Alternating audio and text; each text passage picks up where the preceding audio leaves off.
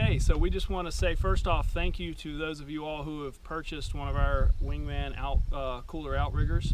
This is just an explanatory video of how to uh, put this on your boat and uh, the best ways uh, to, to use it. So here, uh, here's the frame all in one piece. It'll show up in three pieces.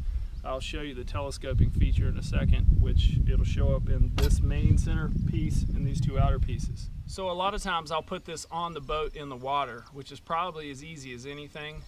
Sometimes I'm putting it on on shore. I'll, I'll use these foam pads under the boat. A paddle works, or oftentimes I just will lift the boat to run the straps under, and that's, that's pretty simple as well. So while the frame is assembled, we, we put the straps on like this just for storage and removing the straps just a simple stainless steel ratchet strap so as you can see these are just simple loop straps here I like to turn them so that the loop is right on the outside of the frame there just like so so when it pulls tight on the boat you're using all of your strap the strap can be slid on the frame and this is to adjust to the different widths of the boat. Okay, now when setting it on the boat, pretty, pretty simple. Want your straps outside of the boat, and then you just want to get it centered across your boat so that you have the same amount of platform on either side. Once you have that centered,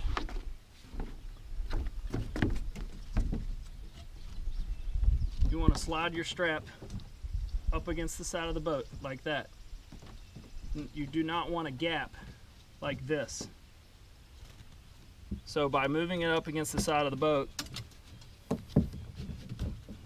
you're, you're guaranteed to keep it secured to the boat properly. Okay, once the frame is centered on the boat, you want to take the strap and go under the boat. And I like to keep the strap straight just to keep from having it rolled up under the boat. Okay, now that the strap is under the boat, we want to take your ratchet strap. We want to put the strap through the ratchet like so and then back through again. And then you want to pull the strap tight. Make sure it's straight under the boat. And once you have it snug, at that point you can start to crank it down. Notice how we have the strap against the gunnel of the boat. I'll usually, when I put the front one on, or the first one, I won't tighten it down all the way until we get the back strap put on. Okay, now that I've run, I've got the front strap on and, and partially tightened, I'll run the back strap under the boat and repeat the same process with the back ratchet. Okay, we have both straps hooked up now. Remember, once again, we have the strap all, way, all the way against the gunnel of the boat to keep it from shifting. Now that both straps are, are moderately tight, we have the pad here to protect the boat from the buckle.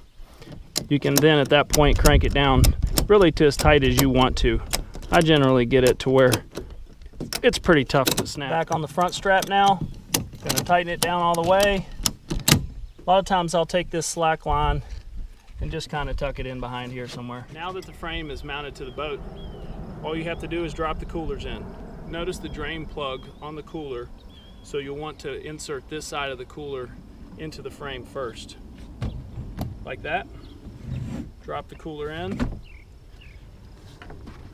The handles will latch in by putting your palms on the handle, your fingers under the frame, and popping it in like that. Same with the removal. Palms down, pull out. When pulling the cooler out, remember once again to watch out for your drain plug. We also will provide rubber stops that you can put in place of these caps in the event you were to lose this or just choose not to use these. Okay, you'll notice that again, these outer pieces are, are telescoping from the inner frame. By using these buttons here, on both sides. Push in the buttons, pull out on the frame.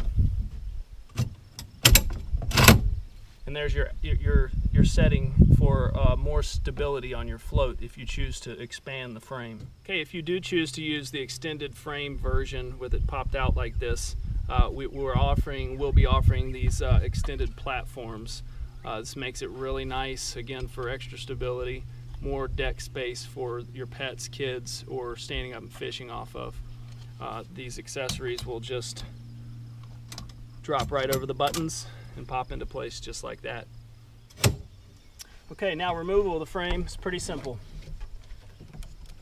Pushing up on the button on your ratchet,